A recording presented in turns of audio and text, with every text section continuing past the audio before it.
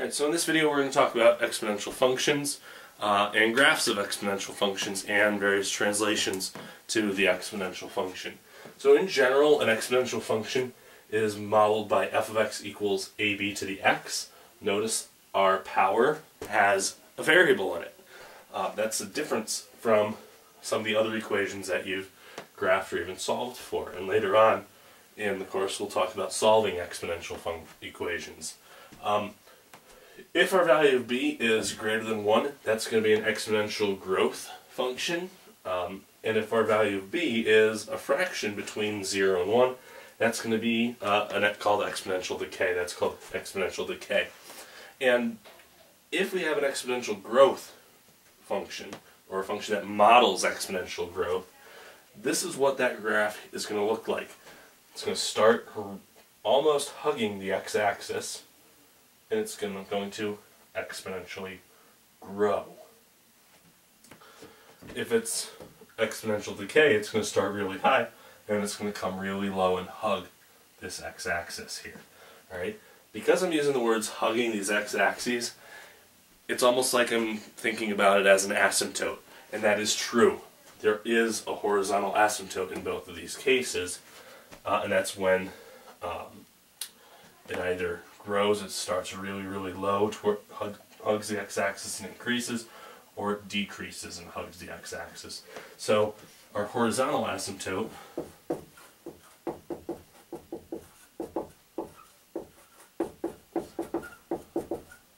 is at the line f of x equals 0 or y equals 0.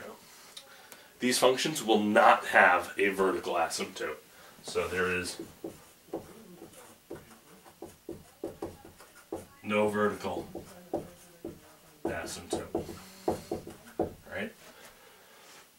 And to be 100% honest, if we were to graph these, the easiest way to graph it is to use a table of values. Using a table of values is the best way to solve these types of equations. Now, or not to solve, to graph these types of equations. Now let's talk about how we can move this graph right, left, up, down, flip it, and so forth. Okay? If we have the function f of x equals ab to the x minus h plus k, what do these values do? Let's talk about the values of a, h, and k. The value of a, that's going to tell you if it's going to stay on top of the x-axis or if it's going to flip on the uh, x-axis.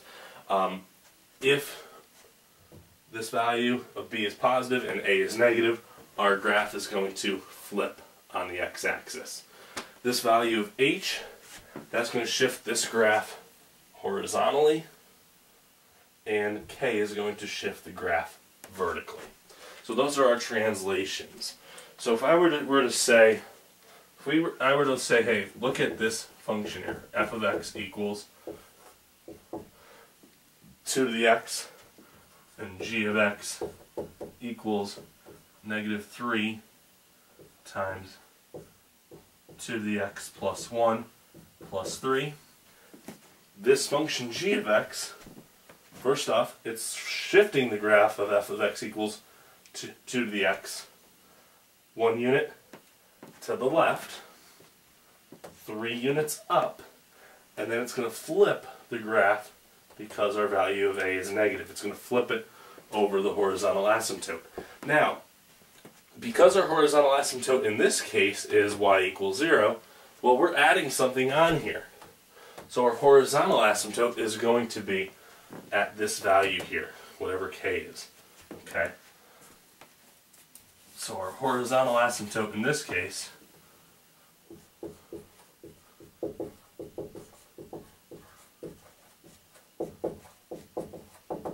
is that f of x equals k or y equals k. And we'll do a couple of graphs to talk about uh, some of these, okay? And so let's look at this function here, f of x equals 2 to the x. Um, first off, this is just a basic uh, exponential function here. There is no translations left to right and there is no flips. So this function here is essentially considered a quote parent function. If we were to translate this, the translations would refer back to this function here. So if we look at this, okay, there is no vertical shift, there is no horizontal shift, so our horizontal asymptote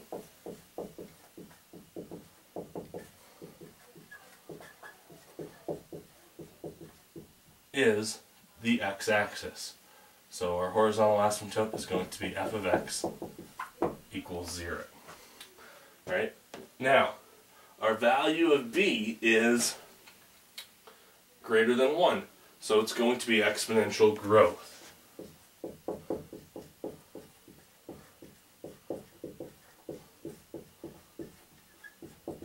If this were a fraction between 0 and 1, it would be exponential decay. Okay? So remember what exponential growth looks like. That, that looks like, in general, in general, exponential growth is going to look like that. Okay, but we don't really need to know that because that's early, was stated earlier in the video. Okay, and what we're going to do to graph these, we're going to use a table of values here for x and f of x.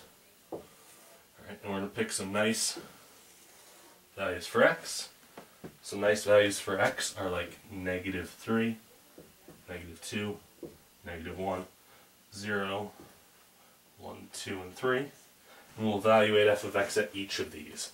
So if we substitute negative 3 in for 2 to the x, that's going to be 2 to the negative 3. That's going to be really 1 over 2 thirds because of our negative exponent property. And 1 over 2 to the, thir the third is 1 to the 8th, or 0.125. So our first point here is negative 3, neg uh, 1.25. That's going to be right around there. If we do neg negative 2, we get 2 to the negative 2, which is 1 over 2 squared, which is 1 fourth. And hopefully we all know that's 0.25, so that's going to be here again. Negative 1 is 2 to the negative 1, which is 1 over 2, which is 1 half. So that's going to be right about there. 2 to the 0th is 1. So there's another point right there. 2 to the first is 2. 2 squared is 4.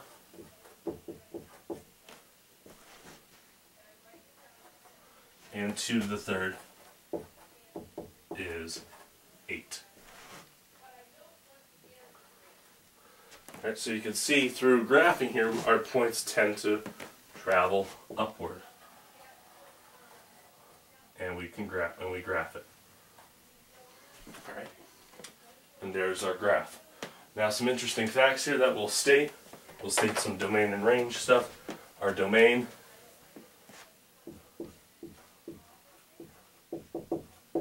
Our domain, we can pick any value for x, so our domain is all real numbers. Our range, our values of y, they are going to be greater than the value of our asymptote is our its exponential growth. So we'll use the inequality greater than. So y is greater than our asymptote, which is at 0. So our range is y is greater than 0. Right, so that's a basic exponential growth function.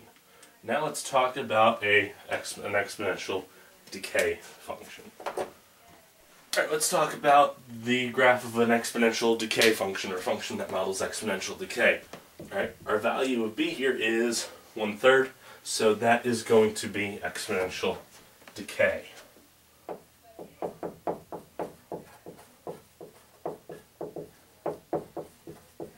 And if you need to go back in the video to know what the graph of an exponential decay function looks like, um, then certainly uh, you're welcome to do that. Uh, also, there is no horizontal shift in this, so our horizontal asymptote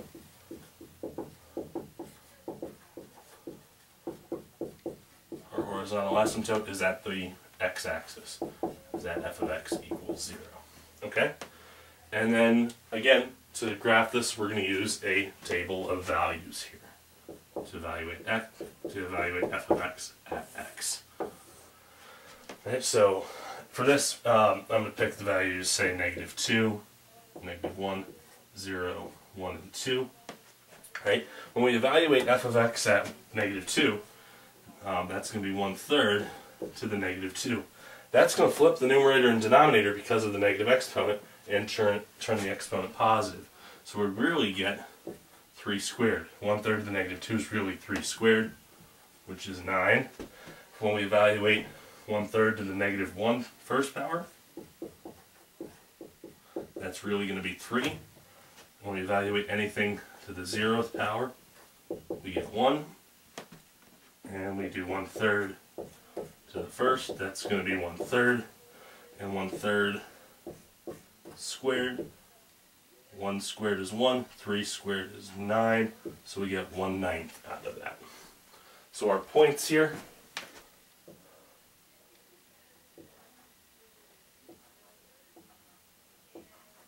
are right there. And we can graph more points if we want, or evaluate more, evaluate the function f of x at more values uh, if you want, but we really don't have to. We can take and graph that function just like that. Okay? And that's what that function f of x equals one third of the x will look like. Uh, some domain and range stuff, right? Our domain of the function f of x is going still going to be all real numbers, and our range is going to be y is greater than 0. Okay? So that's the graph of an exponential decay function, or function that models exponential decay. Okay? The next example we do is going to be a translation of a couple different uh, of a of an exponential of a, an exponential function. All right, so let's look at this graph here. We have, or this function here, f of x equals negative 2 times 3 to the x minus 1 plus 2. All right. In this case, our parent our parent function, all right, I'm going to put the parent in quotations,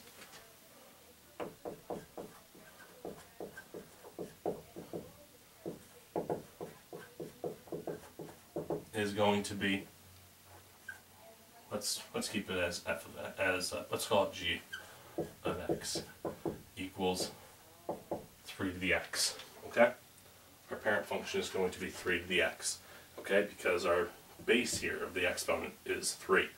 Right? Everything else that we're, what we're going to do with the negative 2, the minus 1, and the plus 2 here is going to be a translation of this function right here. So if we were to graph that function there, this is what we would get.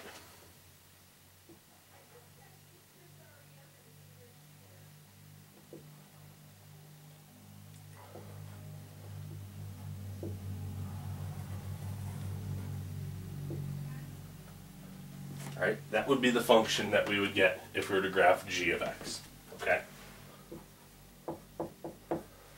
Instead, we're asked to graph f of x, okay? In this case here, let's look at our vertical shift first, okay? Our vertical shift is plus 2. So that means we're going to shift this graph up 2 units. Right, so that means our horizontal asymptote is now going to be up two units. Alright, so our, our horizontal asymptote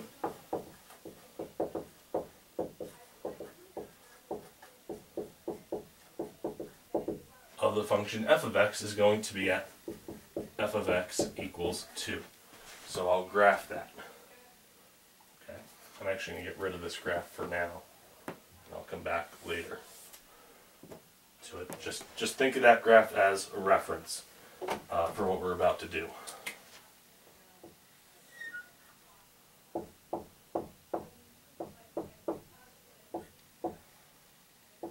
Okay? So our horizontal asymptote is going to be at f of x equals 2. So that's going to be right here. We'll mark that in our graph. Okay?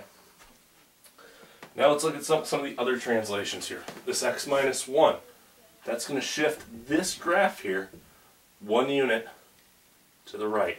So our, horiz our horizontal shift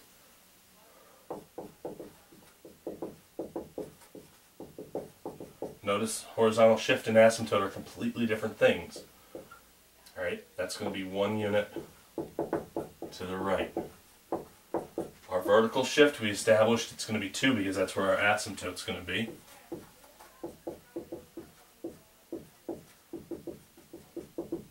That's going to be 2 units up. And now what does this value of A do? Negative 2. Alright, this negative 2 That tells us that it's going to be scaled by a factor of 2, and it's going to be flipped across the uh, horizontal asymptote. Alright? It's going to flip g of x equals 3x along the horizontal asymptote. Okay? So, let's look at some nice points here for this. Some nice points here. Because this graph is going to be coming down this way, let's think of some really nice points here. Um, let's go x, y, or x and f of x. Some nice points here. Let's think about what, well, what, what happens when this is 0. Uh, well, that's going to be a 1.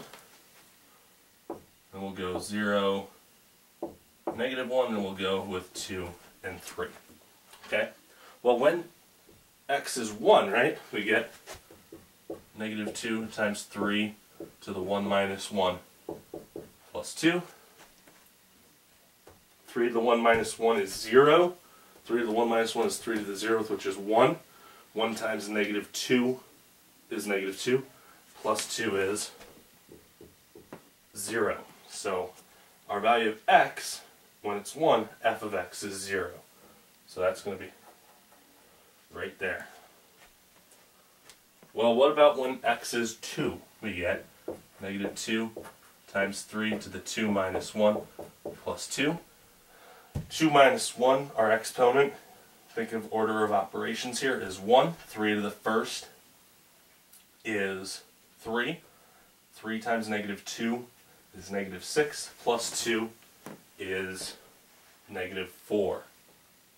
So that'll be right about here. If we did a 3 here, negative 2 times 3 to the 3 minus 1 plus 2. That's going to turn into 3 squared, which is 9. 9 times negative 2 is negative 18, plus 2 is negative 16. That's going to be somewhere way down here, so I'm not going to worry about graphing it. And now let's look at 0 and negative 1 here. If we do f, if we do negative 2 times 3 to the 0 minus 1 plus 2.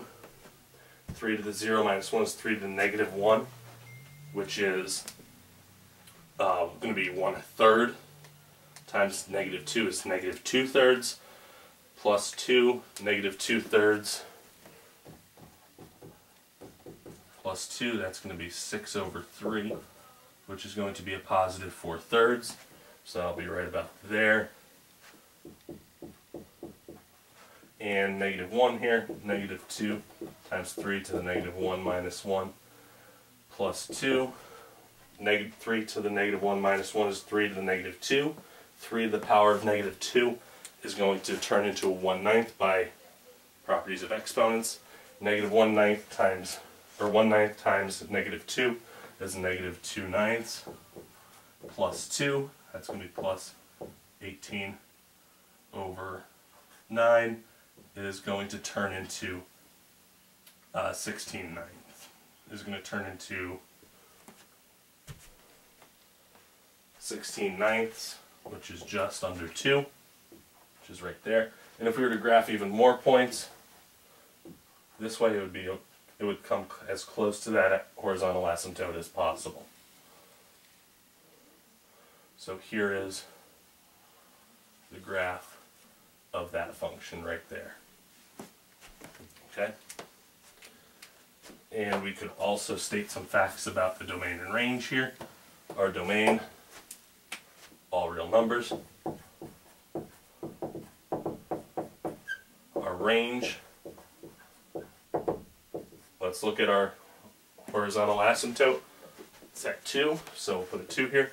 Is Are the, the values of y or f of x less than our the value of our asymptote, or are they greater than the value of our asymptote? They are less than the value of our asymptote, so our inequality there is going to be y is less than 2.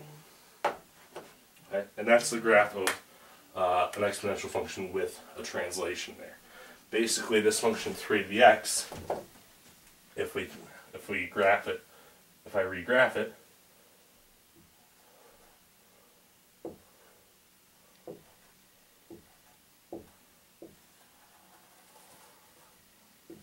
if I regraph it, what we did was we moved it to the right one unit, flipped it on the y-axis because of the negative 2, and then we brought it up two units vertically. Okay, so that's how that's the basics of graphing these exponential functions. Hopefully you get something out of this video. Um, thank you for watching.